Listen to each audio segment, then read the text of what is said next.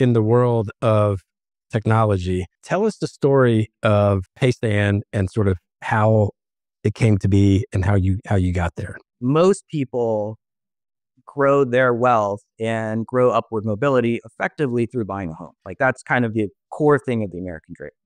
And um, so my, you know, my, my dad swung a nail, uh, you know, swung a hammer for 20 years to, to effectively buy an 800 square foot house. You know, and that, that, that was kind of their net, nest egg. And so um, I go off to college, I get involved in tech, fast forward 15 years, you know, and they're really proud, you know, it's, um, it's a humble, you know, um, success, but it's a cool success. What happened was in 2008, I was in New York. I was kind of working in Wall Street.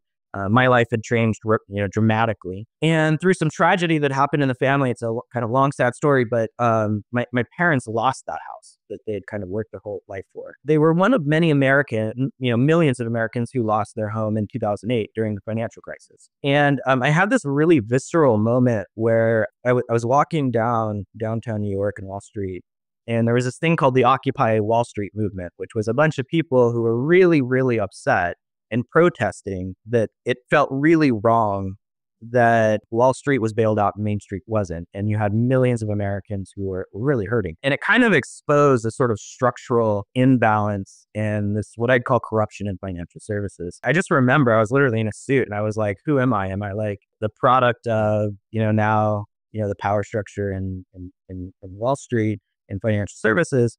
You know, or am I the rebellious kid that grew up with, you know, a family from nothing? And so, so there, there's a part of me that's like, you know, I'm going to pick up a rock and throw it at the, the bank too. And, and, and, and, and I think my, yeah. my view as technologists, you know, one of the magic things we get to be is we get to imagine the world not as it is, but as it could be. And I think in some ways, technology is this force for change that ultimately it can be a quiet revolution.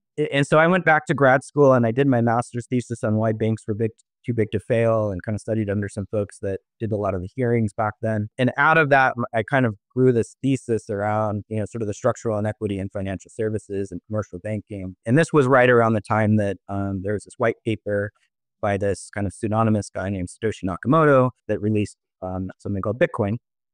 And so what I saw was the answer to a problem that many of us felt but couldn't articulate, which is if financial services, if the money, which is the the core of how our economy works. And if we don't have a working, fair economy, we don't have a fair system. If if you could fix the money, you could maybe fix the world. And so I've kind of dedicated the last 15 years of my life to be a, a part of that force for change. And today, Paystand is, you know, one of the largest commercial use cases and a fairly successful company in that space.